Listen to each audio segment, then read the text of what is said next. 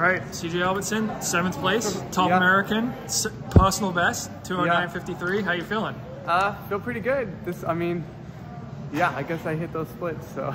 Did, I mean, did you had it align Pretty- with like pretty- what you had on paper? Yeah, pretty much. Uh, I was, I mean, it was slightly faster the first half, um, and I think slightly slower the last couple miles. Mm-hmm. But that, I mean, it was kind of to be expected. I mean, I was kind of within the range, because like with the tailwind, I thought.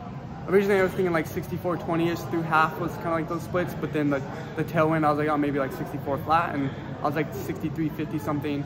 Um, and but I finished, I think, almost at the exact time. I predicted like 209 52 or 209 53, and like that's like exactly what I finished as, So Yeah. it was kind of funny. Um, how much like could you feel the tailwind on the course? Like, was it definitely helping? Uh, yeah, I mean, it had to be helping. Um, I felt a lot of like crosswind actually. Um, so, which I think was kind of nice because um, you always felt like you had a breeze.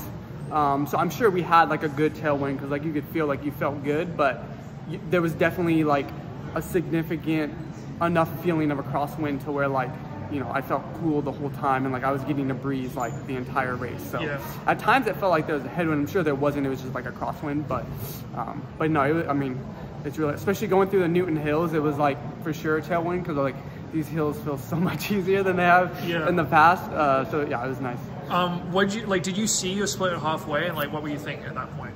Yeah, I mean, I like I knew I could. I mean, there's tons of clocks on the course, so I knew what my split was gonna be.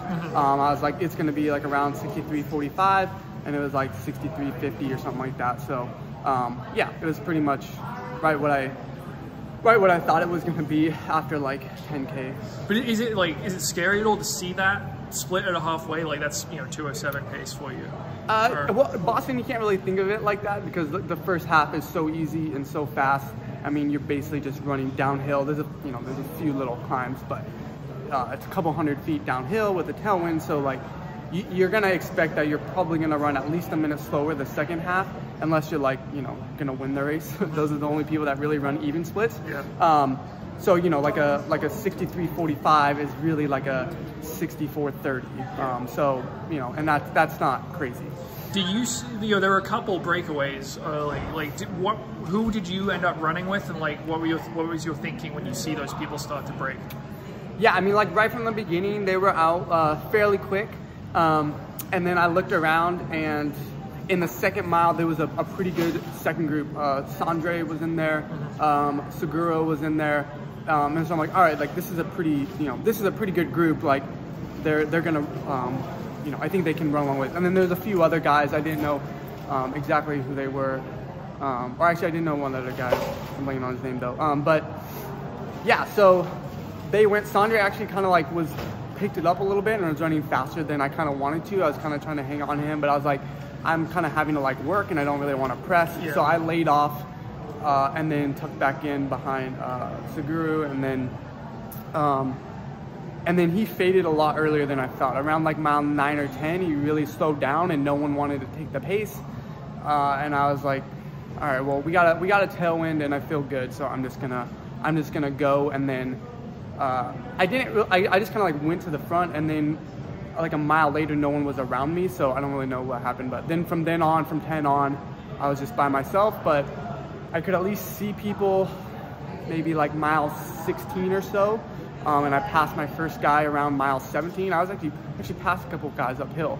I think I've ever done that in a race before, so that was that was a new experience. Yeah, Yeah. I, I know you know coming into some of the Boston's in the past, you've been really confident, and I, it was striking to me like talking to you on Friday, you weren't really saying to like, oh, something's shaping my life. This is amazing. I'm going to run a PB. Yeah, this is your best performance in Boston to date. Like, what do you think went into that? Uh, well, I mean, I definitely ran more even, you know, a more even effort, so that helps. Um, and the way the wind was, it was it was easier or felt more confident just running uh, with the second pack and, also running by myself. Because normally, boss, you know, every other year I've ran it, it's been like not windy, but it's been like a six, seven mile an hour headwind. Um, besides that first year, there's pretty much no wind, but.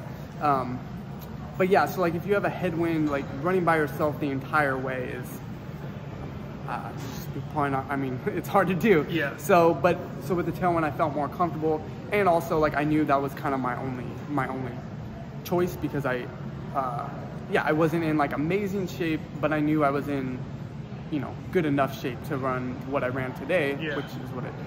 What do you think this is the tailwind was worth today in terms of like compared to still conditions? I mean, I have no idea because no one else really ran much faster. I mean, like the, I mean the the, uh, yeah, like what fifth or how many guys broke 207? Two. Yeah, talk I mean, it, it wasn't like a crazy. It was kind of just a normal year, um, and a lot of guys kind of died and didn't even break 210. I mean, the guys I was passing at the end were pretty good. So I don't know. Uh, maybe the warmth got to people because yeah, overall, usually like I mean, for them going out the way that they did, like they didn't go out like blazing fast, but they went out solid that you would have expected a little bit faster times at a finish with that tailwind. So it's hard to say. I mean, yeah, I, I, I don't know because I ran good, but no one else seemed to run that fast. Like relatively, you know. Yeah. And how did the body feel coming off the trials with the, the I know you said that you had those foot problems until a few days ago. Yeah, uh, yeah. I mean, I have. I've just felt okay, like basically from the trials until now. Um, haven't really felt like I've been doing a whole lot, but whenever I'd kind of do harder efforts, um, I'd be like, oh, okay, I'm not like as out of shape as I thought. Like I'm, like I'm in decent shape. So, um, and then this week I had significantly less pain. Kind of like, kind of figured out the right strength exercises that kind of took away some pain. Um, so yeah, the past two days didn't really feel anything. Um, I can tell my arch is a little sore right now, but I mean, I just raced a marathon. But Yeah. I, I mean, during the race, I had it was no, no pain or no anything. Um, so yeah, I mean, I'm fine. I'll, I'll take some time off. I'm not gonna be racing anytime soon now, so I can just Yeah. you know relax. But uh, yeah, What's the feeling like to finally be sub 210 officially? uh, it, I mean, I guess on it's on it's Boston, but like yeah, you know, I know. Yeah, my, my PR won't say say 209. They'll still say 210. But uh, yeah, I mean, it's good. It's, it's good to get like that. Uh, it's just like you know, kind of like the monkey off your back type thing. You know, and, and now, now I can run like 207 or something like that. I don't know, but uh, yeah, no, I mean, it feels good. Of course, you know, there's an asterisk. It's like you have a tailwind at Boston, but whatever. I don't care. Well, congrats, ran Yeah, out thanks. Thanks, CJ.